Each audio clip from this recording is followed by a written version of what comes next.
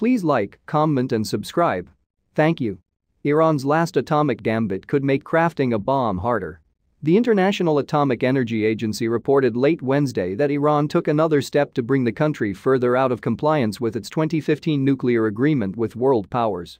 Iran's decision to cast its stockpile of 20% enriched uranium into metal for a research reactor reduces the risk that the Islamic Republic will move swiftly to build an atomic bomb, according to Robert Kelley, a U.S. nuclear weapons engineer and former senior inspections official. The International Atomic Energy Agency reported late Wednesday that Iran took another step to bring the country further out of compliance with its 2015 nuclear agreement with world powers.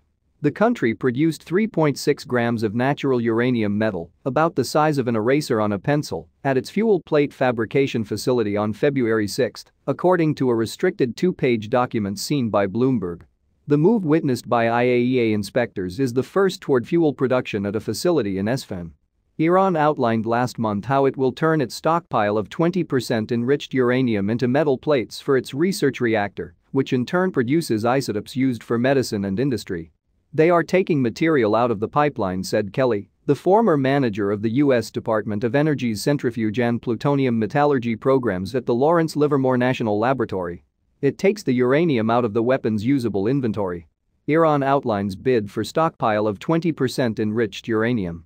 Iran has been ratcheting up pressure since early December when its parliament passed a law ordering engineers to begin enriching uranium at higher levels and then cast the metal into fuel for the Tehran research reactor. But the activities don't just make reviving the moribund nuclear agreement harder for the Biden administration, which is open to doing so once Iran returns to compliance. They also could make it tougher for Iran, which wants the US to first lift sanctions imposed by the Trump administration to sprint toward weaponization, according to Kelley. Most of Iran's current enriched uranium stockpile is held in gaseous form, where it can be run through cascades of centrifuges at short notice. Those machines, which spin at supersonic speeds, separate the uranium-235 isotope required to set off the chain reactions in power plants and bombs. Most nuclear weapons use uranium enriched to 90% purity. Iran's stockpile is between 3% and 20% enriched.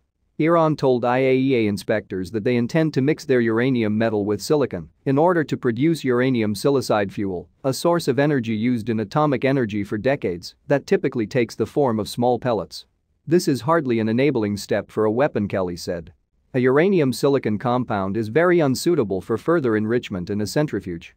The assessment could give the Biden administration space to engage with Iran as the clock ticks toward the next deadline on February 21, the day when IAEA inspectors have been told they'll have some monitoring powers curtailed unless US sanctions are lifted. Until that day, Iran continues to be subject to full IAEA monitoring, which allows good insight into Iran's fuel cycle activities, said Andreas Persbo, a nuclear nonproliferation analyst who is research director at the European Leadership Network. Even though casting uranium into metal could complicate a sprint toward a weapon, the message Iran is sending is still troubling. The Iranians are masters of operating in the gray zone Persbo said. They are hewing to the letter of their safeguards agreement, but it's clear this isn't the kind of behavior that is desirable or expected. Please like, comment and subscribe. Thank you.